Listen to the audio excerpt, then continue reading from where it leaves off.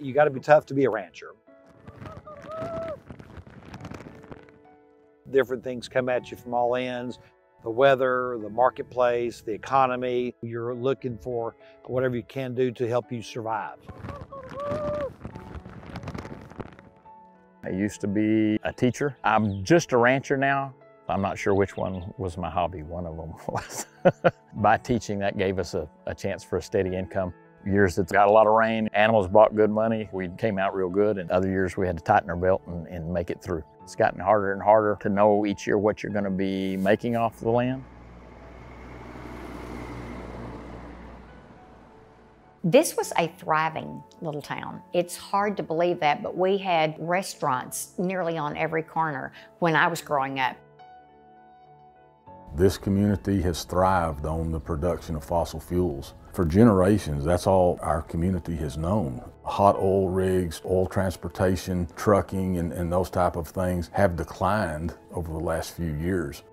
The kids that are born and raised in Eldorado, they don't seem to come back. So the community is, I don't want to say the word drying up, but it's just not as bubbly as, as it need to be. This project with Apex is going to help that situation.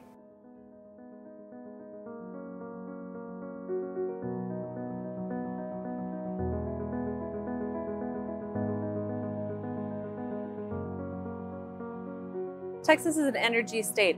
What's great about developing here in Texas is that they are open to new fuels and new opportunities, and they recognize that you can be as lucky in the wind resource as in the oil resource.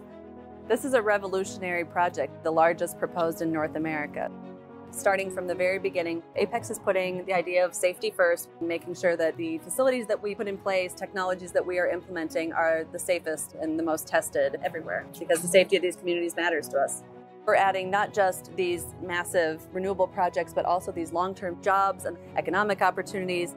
I'm from rural area in Texas, and after seeing what Apex did for the community that I'm from, in our school district, in our county, I want to get out and spread the word of what Apex can do for some of these communities. It's hard to make a living raising livestock now. A lot of people have reverted to selling property that's been in their families for hundreds of years. By leasing to us, a lot of these people look at it as a way to be able to hold on to the ranch. We're excited about the project. It's going to help a lot of people with extra income, but it's also going to increase the tax base for our county.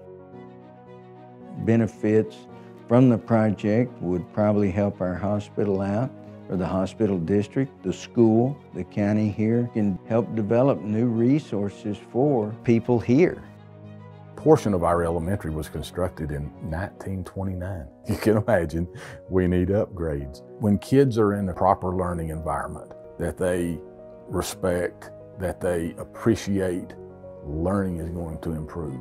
The opportunity that this would create, I think, is going to be tremendously positive.